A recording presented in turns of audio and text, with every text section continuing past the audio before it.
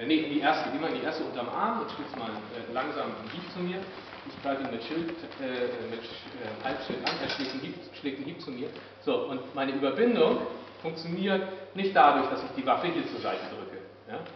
Das ist super gefährlich, weil ich hier eine, äh, eine riesen Lücke aufmache.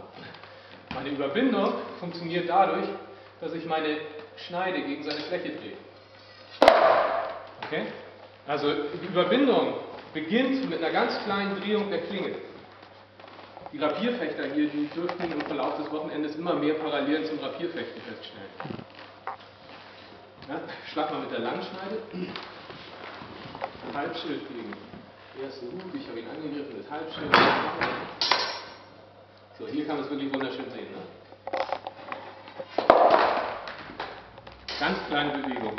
Und das ist ein Prinzip, könnt ihr mit nach Hause nehmen und euch an die Wand hängen und einrahmen. Schneide ist stärker als Fläche. Und um das alles sauber ausnutzen zu können, äh, müsst ihr im Grunde auch saubere Bindungen haben. Das heißt, um überhaupt an den Punkt zu kommen, wo wir die erste Seite von einem gegebenen Fechtbuch aufschlagen, müssen wir erstmal gelernt haben, anständig zuzuhauen.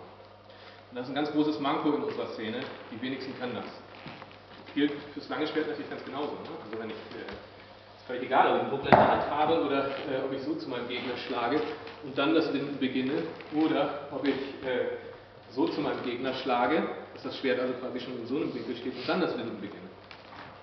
Gut, mit diesem unglaublichen, faszinierenden Wissen geht ihr zurück zu eurer Übung und äh, ihr übt jetzt bitte wieder den Oberhau. Der andere macht mal erstmal noch nichts.